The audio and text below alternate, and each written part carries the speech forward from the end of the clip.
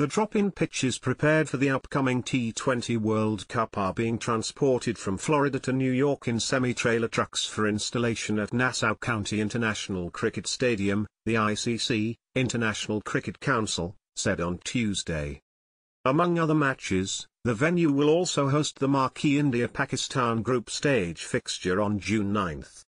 Ten drop-in pitches have been prepared in Florida since late December, employing proprietary techniques honed over a decade at Adelaide Oval, the ICC said in a press release.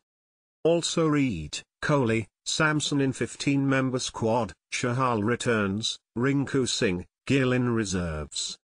The development of the pitches has been undertaken by Adelaide Oval Turf Solutions, led by renowned Adelaide Oval head curator Damian Hough.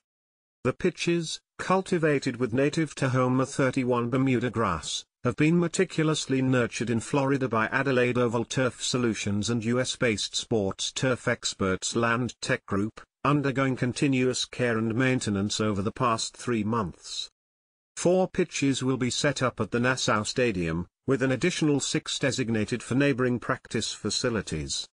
The Adelaide Oval Turf Solutions team will remain in New York to assist local grounds crews in pitch maintenance throughout the tournament to ensure world-class pitches. The drop-in square, the type used around the world including at Adelaide Oval and Eden Park, has been curated in Florida and transported by road to New York via a convoy of more than 20 semi-trailer trucks.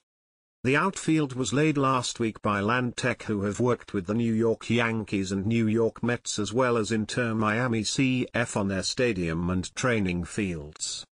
ICC head of events Chris Tetley said, the installation of these pitches is one of the final pieces in a project that is unprecedented in international cricket. We have taken a considered and well-planned approach to this project, using the very best in the business in Damian Hough to ensure we have the best possible playing surface for eight World Cup matches in New York.